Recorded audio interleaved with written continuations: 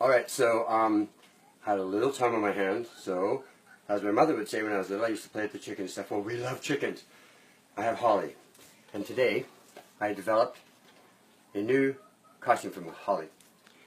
The terror chicken, or in this case, it'll be called the Holly Dactyl. Nice, eh? This is gonna be sweet. See the little arms? Ha! Oh, oh, oh. Okay, here we go. We're gonna now place this on Holly, the chicken.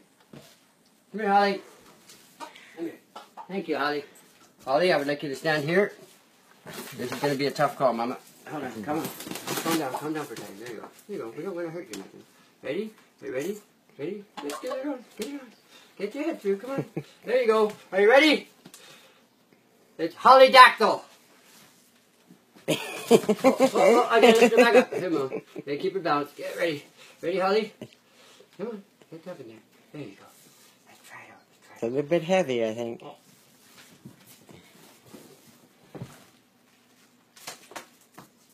Pretty good. Pretty good.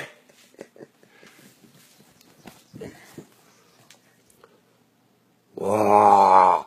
I'm Holly Doctor, the chicken. Come here, Holly. Like, Are you having walk. trouble walking in that thing?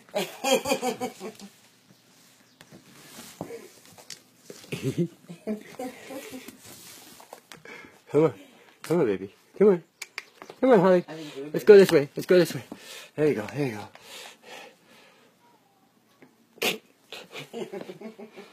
what do you think, Holly? You look pretty sexy. Look, now you got arms. This is what you look like if you have arms.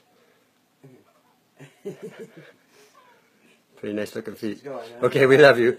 We're going to now release Holly Dactyl. Your fitting's complete. That's bye from me, Alien, and Julieann. And me, of course. Bye.